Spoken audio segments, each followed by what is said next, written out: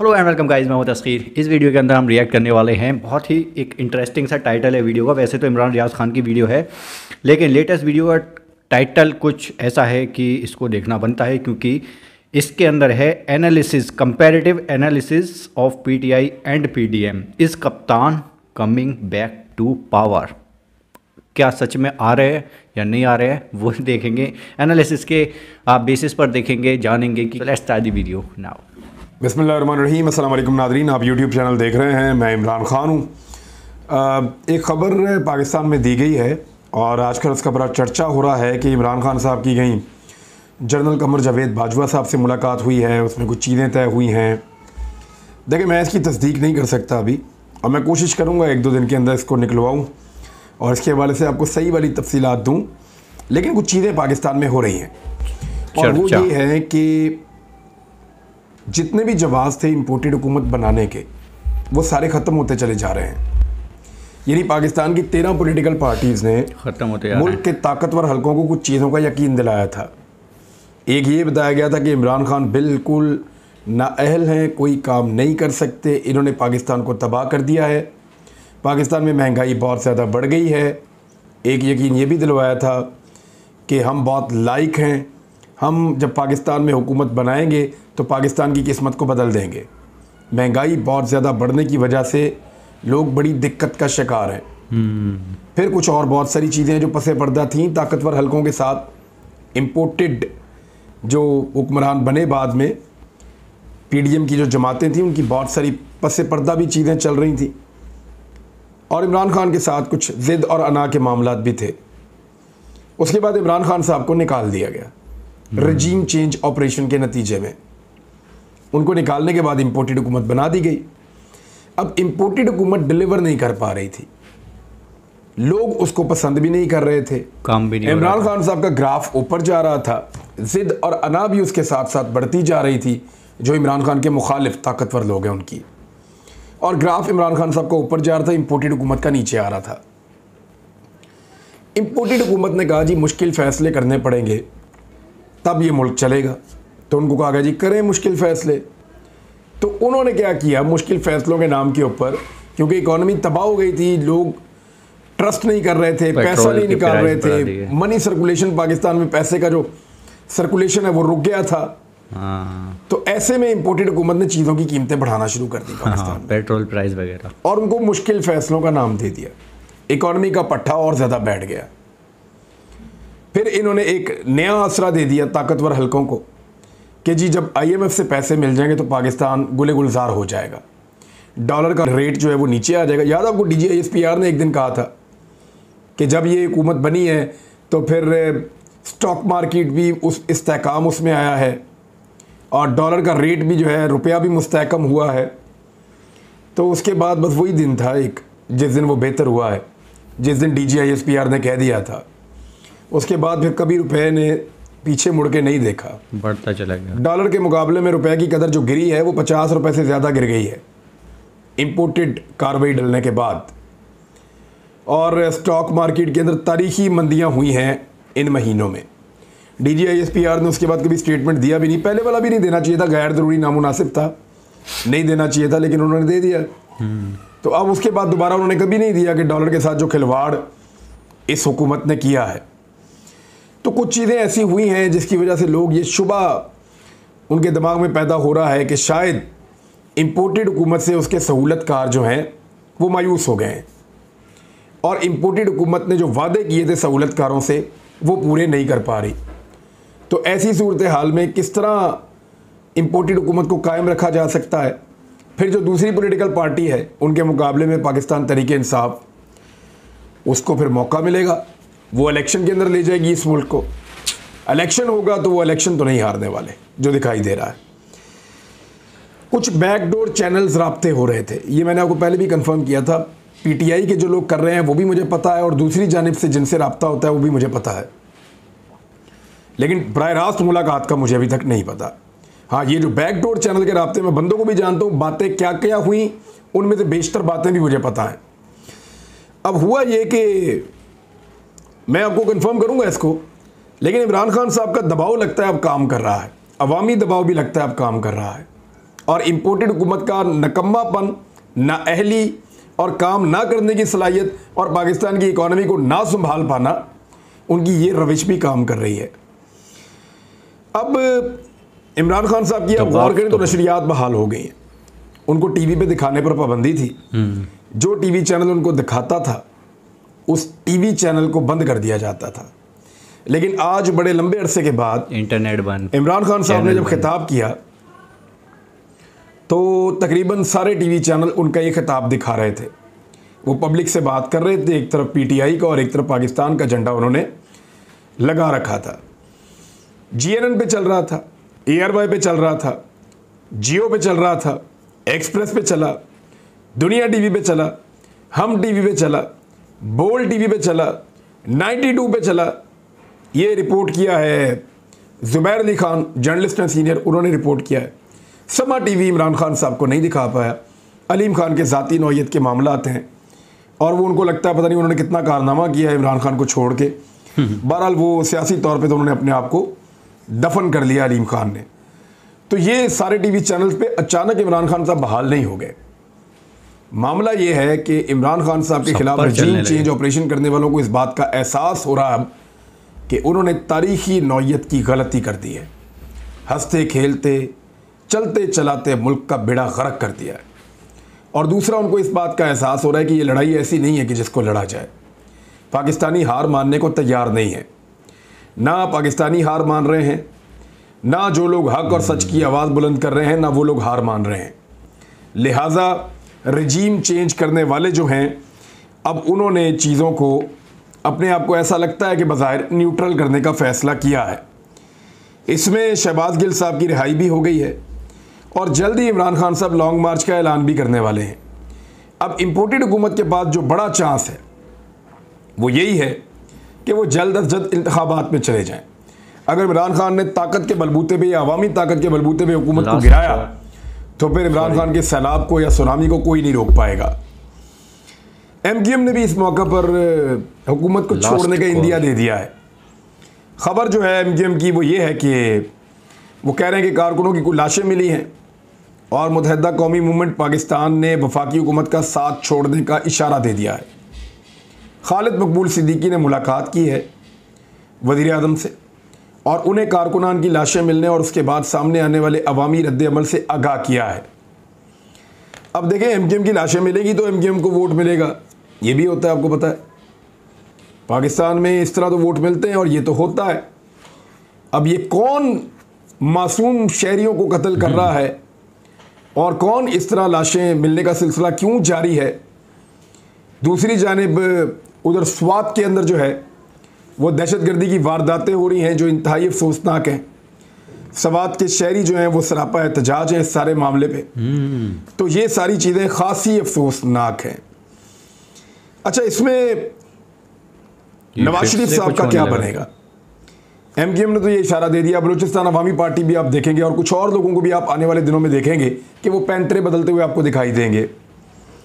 लेकिन बलूचिस्तान अवामी पार्टी ये भी अपना मौके बदल सकती है आने वाले वक्त में। नवाज़ शरीफ को क्या उनकी सज़ा ख़त्म हो जाएगी? क्या वो पाकिस्तान वापस आएँगे? क्या वो पाकिस्तान वापस आने के बाद सियासत में हिस्सा लेंगे? ये वो बड़े सवाल हैं जिनका जवाब है नहीं।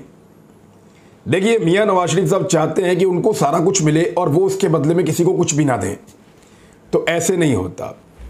आप मेरी बात समझ गए होंगे जो मैं कह रहा हूँ।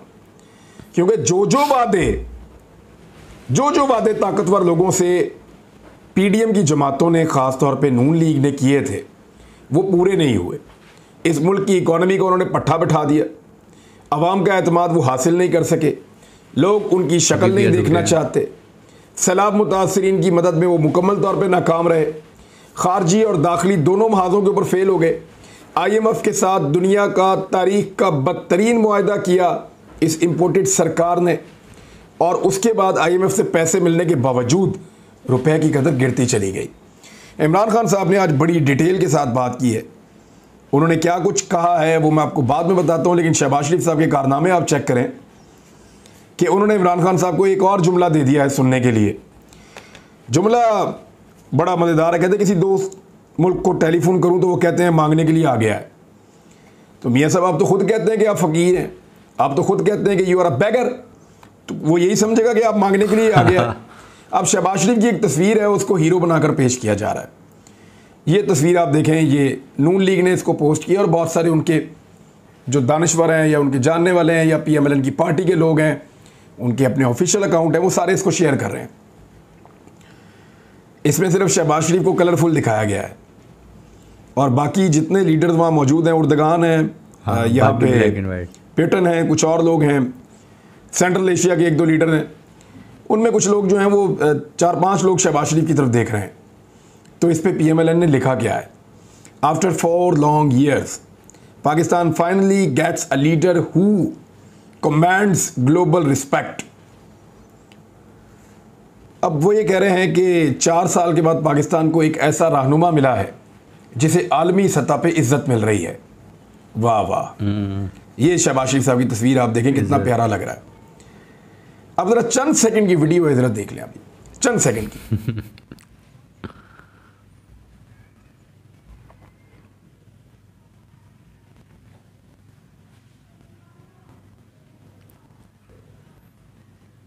आ।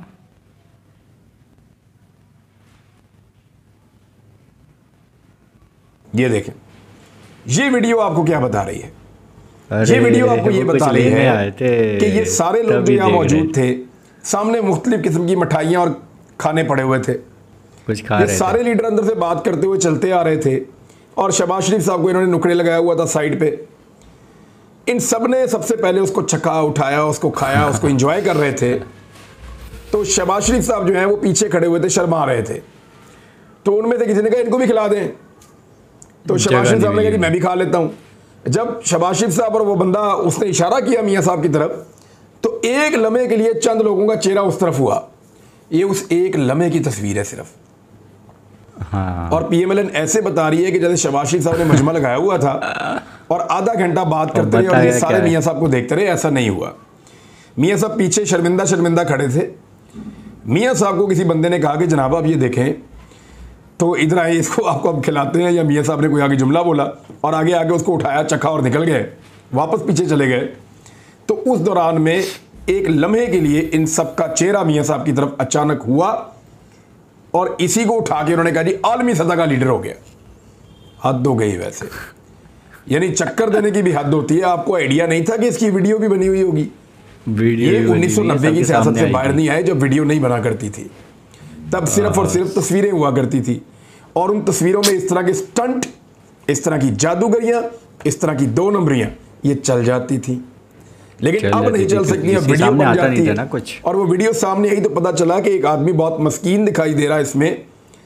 अनफॉर्चुनेटली हैं तो वो पाकिस्तान के वजी आज़म में पाकिस्तान की इज़्ज़त है लेकिन क्या करें? वो खुद कहते हैं कि बैगर्स आर नॉट चूजर्स ऐसी हरकतें करेंगे तो इसी तरह का उनके ऊपर तजिया हो सकता है। तो अब वो शबाज शरीफ साहब को हीरो बनाने की नाकाम कोशिश की गई, जो बुरी तरह फ्लॉप होकर नाकाम हो गई है। अब एक और ख़बर है, वो मैं आपके सामने रखता हूँ। बल्कि छोटी छोटी दो चार खबरें हैं, वो आप देख लें, उसके बाद मैं आपको बताता हूँ कि इमरान खान साहब ने क्या कहा है। सानिया नशरत साहबा ने एक ट्वीट करके एक बड़े अहम मसले की तरफ़ निशानदेही की है। मैं चाहता हूँ कि आप भी उसको ज़रा सुन लें। वो कह ये रही हैं कि उनतीस अगस्त से जब इमरान खान साहब ने टेलीथॉन की थी तो तब से अब तक तीन इशारिया आठ आठ चार छः मिलियन डॉलर्स क्रेडिट कार्ड्स की ट्रांजैक्शन के तहत वसूल हो चुके हैं। तीन इशारिया नौ समझ लें आप तीन इशारिया नौ मिलियन डॉलर्स। जबकि सत्रह इशारिया नौ मिलियन डॉलर ये जो है ये क्रेडिट कार्ड की इसकी अदायगियाँ जो हैं ये नाकाम हुई हैं। और स्टेट बैंक ऑफ़ पाकिस्तान इस मसले को देखे ये ख़तरनाक है। बहुत सारे लोग जो क्रेडिट हम्म। कार्ड के ज़रिए पाकिस्तान को फंड करना चाहते हैं उनमें सिर्फ़ तीन इशारिया नौ मिलियन डॉलर फंड हो सका सत्रह इशारिया नौ मिलियन डॉलर फंड नहीं हो सका। वो ओ, जो जो ट्रांजेक्शन हैं बहुत बड़ा अमाउंट वो नाकाम हुई हैं। और क्या ये डेलिबरेटली किया जा रहा है ताकि इमरान खान के उस अकाउंट के अंदर या उस मदद करने वाली टेलीथॉन के ज़रिए जो पैसे आ रहे थे उसके अंदर खलल डाल के उसकी अमाउंट को कम किया जाए। और हर जगह पे बैंक्स ये कोशिश करते हैं कि जो भी पैसे देने आए उसको पहला ऑप्शन प्राइम मिनिस्टर के अकाउंट का देते हैं। और ये शायद मिफ्ता इस्माइल की तरफ़ से या स्टेट बैंक की तरफ़ से ऑर्डर है। और जब लोग इंसिस्ट करते हैं और बार बार कहते हैं कि हमने पैसे सीएम के अकाउंट में डालने शहबाज के अकाउंट में नहीं डालने तो फिर उस ऑप्शन के ऊपर जाने देते हैं। अब आ जाए इमरान खान साहब ने क्या कहा? खिताब तो उन्होंने आज किया है। और ख़िताब में इमरान खान साहब ने बहुत सारी अहम बातें की हैं। उन्होंने कहा कि मुझे अब खौफ हो रहा है कि मुल्की मीशत को गिरने से बचाने का मौजूदा हुकूमत के पास कोई तरीका नहीं है। अपनी कौम को आगाह करना चाहता हूँ। जिस तरह मुल्की मीशत तेज़ी से नीचे जा रही है अगर इस मुल्क में सियासी इसकाम ना आया तो मीशत को गिरने से बचाना मुश्किल हो जाएगा। मैंने अपनी माशी टीम के साथ बैठ कर मीशत पर तबादला ख्याल किया है। ये आज ही किया है। मैं आलमी मालियाती फ़ंड आईएमएफ की तरफ़ से पाकिस्तान के लिए जारी की गई रिपोर्ट और मुल्की मीशत पर वर्ल्ड बैंक के बयान का भी हमने जायज़ा लिया है। मुझे इस बात का खौफ है कि जब तक मुल्क में सियासी इसकाम नहीं आता माशी इसकाम नहीं आ सकता। मौजूदा हुकूमत की साख न पाकिस्तान के अंदर है और ना ही बाहर। यहाँ तक कि मुल्क की फाइनेंशियल मार्केट्स में भी इस हुकूमत की कोई अहमियत नहीं रही। जैसे ही आईएमएफ का फैसला आएगा ये कहते थे तो एकदम सब ठीक हो जाएगा और रुपया मज़बूत हो जाएगा। मगर हालात कौम के सामने नहीं। इन्होंने आईएमएफ की तमाम शराइ भी तस्लीम की जिसके बाद मुल्क में तारीखी महँगाई हुई। पाकिस्तान की तारीख में ऐसी महँगाई पहले कभी नहीं हुई। मगर इन्होंने इंतबात में तखीरी हरबे इस्तेमाल किए ये चाह रहे हैं मगर इसका नुकसान पाकिस्तान को होगा। अगर कोई ये समझता है कि इसका नुकसान हमें होगा तो मैं आज सत्तर बरस की उम्र में आपको ये बता रहा हूँ और ये दावा करता हूँ हो रहा है। कि पाकिस्तान की सियासी तारीख में कोई जमात इतनी मकबूल नहीं हुई जितनी तरीके इंसाफ हुई है अब। ये सब लोग कह रहे थे कि आइंस्टाइन के बाद दूसरा आदमी शहबाज शरीफ है, जिसके आने के बाद सब ठीक हो जाएगा। और कहते हैं कि हमें तबाह शुदा पाकिस्तान मिला है, मगर हमें पाकिस्तान मिला, जैसा हमें मिला वो भी सबको पता है। फिर इमरान खान साहब ने बताया कि ज़र मुबादला के ज़ख़ायर कैसे इन्होंने कम किए हैं, किस तरीके से पाकिस्तान का जो बैरूनी खसारा है, उसको बहुत ज़्यादा बढ़ा दिया है। फिर इमरान खान साहब ने बताया कि आईएमएफ से जो माहा किया गया उसमें किस किस्म की कमियाँ हैं। फिर उसके बाद बताया कि डॉलर जो है वो पचास रुपये के करीब। उसकी कीमत बढ़ी है। पचास रुपये से ज़्यादा उसकी कीमत बढ़ी है। गुज्त चार पाँच माह के अंदर बिजली का बिल जो है वो दुगने से ज़्यादा हो चुके हैं। आलमी मंडी में पेट्रोल तब महँगा था और इमरान खान सस्ता दे रहा था 150 में। अब पेट्रोल जो है आलमी मंडी में उससे बहुत सस्ता है और मौजूदा हुकूमत दो सौ लीटर दे रही है। फिर इमरान खान साहब ने कहा कि आटे की कीमत पचास रुपये किलो थी हमारे दौर में, और अब एक सौ बीस, पच्चीस रुपये किलो तक पहुँच चुकी है। दालों की कीमतें बताई पाम ऑयल की कीमत बताई, घी की कीमत बताई। इमरान खान साहब ने आज महँगाई के ऊपर और इकॉनमी के ऊपर पूरा पोस्टमार्टम किया है इम्पोर्टेड हुकूमत का। और हर चीज़ बताने के बाद उन्होंने जो आखिरी बात की, वो ये है कि पाकिस्तान को इस दलदल से निकालने के लिए जल्द अज जल्द इंतबात करवाए जाएँ। जिस दलदल में ये इम्पोर्टेड हुकूमत हमें धकेल रही है। अब तक इतना ही। अपना ख्याल रखिएगा। अपने चैनल का भी अल्लाह हाफ़ ये सारे एनालिसिस थे कि पहले क्या महँगाई थी, महँगाई नहीं थी मतलब अब कितनी महँगाई है भाई। बहुत चेंज है, बहुत बदलाव है और आईएमएफ से पैसा लेने के बाद सब कुछ ठीक हो जाएगा मतलब उनके साथ जाने के बाद। तो वो चीज़ें अब उल्टी हो गई हैं। एक जो नस जो फड़कती है, उसकी तरह से कुछ ठीक हुआ भी था, इन्होंने बताया था। कीमत है वो सही हुई थी कुछ पलों के लिए, लेकिन फिर आ, गिर गया। सो ये सारे हालात हैं अभी करंट सिचुएशन में बहुत ज़्यादा और इमरान खान को बहुत ज़्यादा टेंशन के साथ उन्होंने ये सब चीज़ें बताई हैं कि महँगाई ऐसे ऐसे हो रही है और आने वाले टाइम में बहुत ज़्यादा ख़तरनाक है। अगर जल्दी से जल्दी हुकूमत को अपने आप अपनी हुकूमत को न लाया जाए तहरीक इंसाफ पीटीआई को न लाया जाए तो बहुत कुछ और ज़्यादा नुकसान झेले जा सकते हैं जो रिकवर नहीं होंगे शायद। सबसे फ़नी पार्ट बोल रहा यार जो बताया जा रहा था कि इस पूरी दुनिया एक ही शख्स को देख रही है, नाम रोशन हो रहा है चार साल बाद। वो वाली पिक्चर जो थी शहबाज शरीफ की, उसमें उनका फेस जो था कलर्ड था, बाकी ब्लैक एंड वाइट ताकि फोकस उन पर रहे। सो मैं भी ये सोच रहा था, यार, बड़े लोग देख रहे हैं, क्या चक्कर है? लेकिन वीडियो देख कर यार बड़ी अजीब से लगा यार कि क्या यार कुछ भी बनाते हैं यार, कुछ भी बोलते हैं लोग। मतलब जो सच है वो तो बोलो, सबके सामने आ ही जाता है, आजकल नहीं छुपता भाई, कुछ जो भी है यार, इसमें एक्सपोज तो किया है इन्होंने, इमरान रियाज खान ने। ज़्यादा वक्त गुजरता जाएगा, उतना ज़्यादा नुकसान झेलता जाएगा पाकिस्तान। क्या कहते हो इस सबके बारे में कमेंट सेक्शन में बताओ। एंड करते हैं इस वीडियो को, मिलते हैं फिर नेक्स्ट वीडियो में, तब तक के लिए bye bye take care signing off